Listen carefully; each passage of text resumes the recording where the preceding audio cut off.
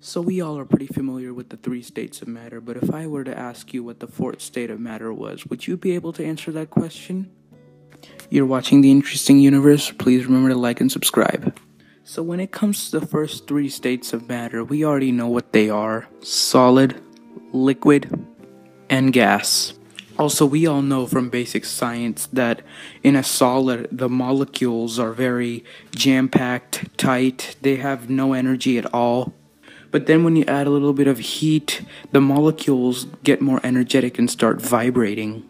And when the molecules in a solid, such as an ice cube, start vibrating, you get a liquid. And then you add even more heat to it, now the molecules start vibrating even more. In fact, now the molecules get so much energy from the heat, they start bouncing around and going crazy all over the place. This is the gas form of matter. And even still, you're crazy enough to add more heat. Now what happens? When you expose the gas molecules to even more heat, something quite interesting happens. The atoms in the gas molecules get stripped of all their electrons, thus they turn into ions. And this is what plasma is. Now you're probably wondering, where can I see this plasma?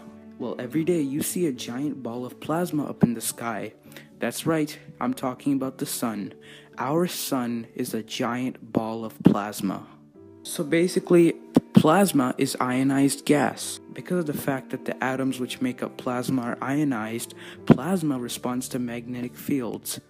And for those of you who are still wondering what plasma looks like, here is a plasma created in a microwave. Anyway, this is the interesting universe here, and I hope to catch you in future videos.